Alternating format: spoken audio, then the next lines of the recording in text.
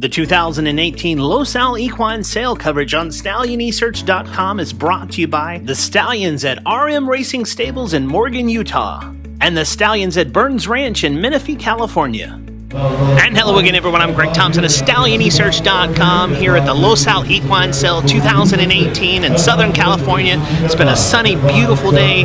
Lots of hot prices coming at you from day one. Let's look at some of the top sellers from this first session.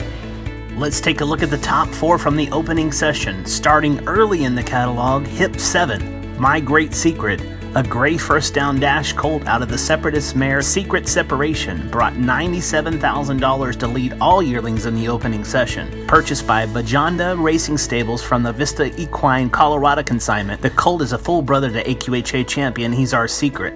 The second highest seller from the opening session was Hip 133. La Masfina, who is a full sister to Grade 2 winner Uno Corona Mas, was bought by Pete Perella from the Burns Ranch consignment for $80,000. Hip 100 was the third highest seller at $75,000, a separate interest colt out of the Strawfly Special mare Babe on the Fly. He's a half brother to the Grade 1 winners Rock You and Little Talks. This colt was another one from the Burns consignment and was purchased by Todd and Jean Bradley. Hip 84 was the fourth highest seller on the day, purchased by Donald Kavanaugh for $70,000. This favorite cartel colt is a half brother to Grade 2 winner Right Regal, and this colt also came from the Burns Ranch consignment. StallionEsearch.com continues its coverage of the Los Al Equine sale tomorrow here on StallionEsearch.com. Introducing the stallion roster of Burns Ranch in Menifee, California.